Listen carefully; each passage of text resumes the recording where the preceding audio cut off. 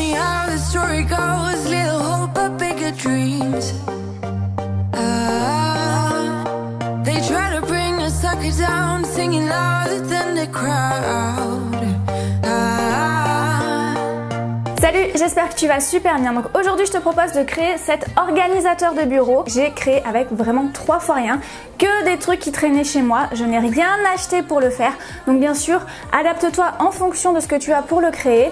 Euh, par exemple, ici, il y a une petite maison en bois. Si tu en as pas, bien sûr, tu peux mettre à la place une petite boîte que tu as trouvé, je sais pas, une ancienne petite boîte à chocolat.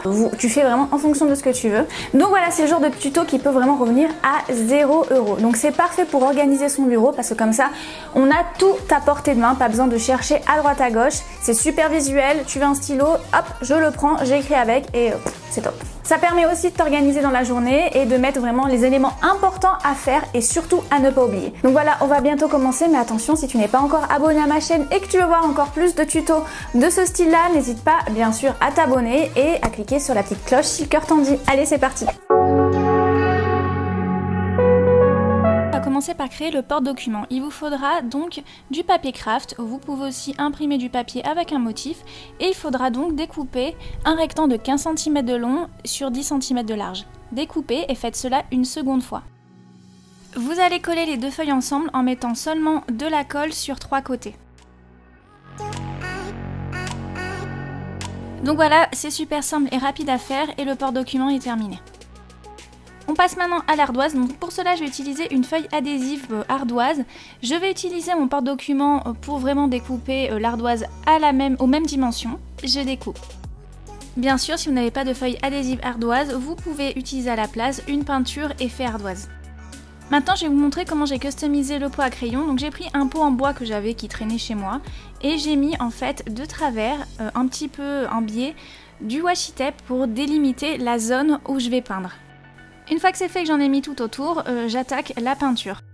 Pour cela, je vais prendre du rose pastel, donc j'ai mélangé un tout petit peu de rose foncé avec du blanc. Donc pour info, j'ai mis deux couches et après, une fois que ça a bien séché, j'enlève le washi tape. En parlant de washi tape, on va créer les petits bâtons pour pouvoir les tenir. J'insère une baguette chinoise à l'intérieur du rouleau, cela va me permettre de la découper à la bonne longueur. Pour que la surface découpée soit plus plate, je vais la poncer sur du papier de verre.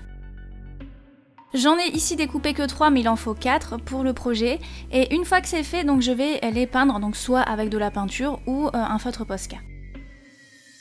On passe maintenant au mini épingle à linge donc c'est super simple j'ai tout simplement décoré un côté avec du washi tape puis euh, je découpe le surplus.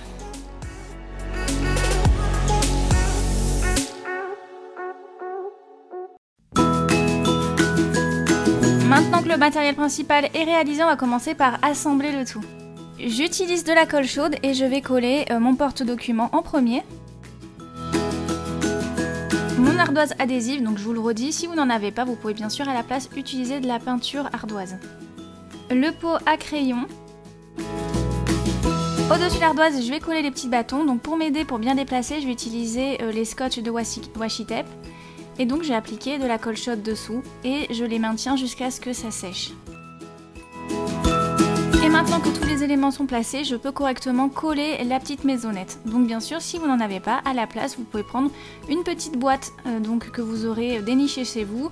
Je vous ai dit une petite boîte de chocolat ou une petite boîte, parfois des fois dans les fruits et légumes, vous avez des petites boîtes en carton ou en, bois euh, qui pourraient vous permettre euh, de faire ce projet-là.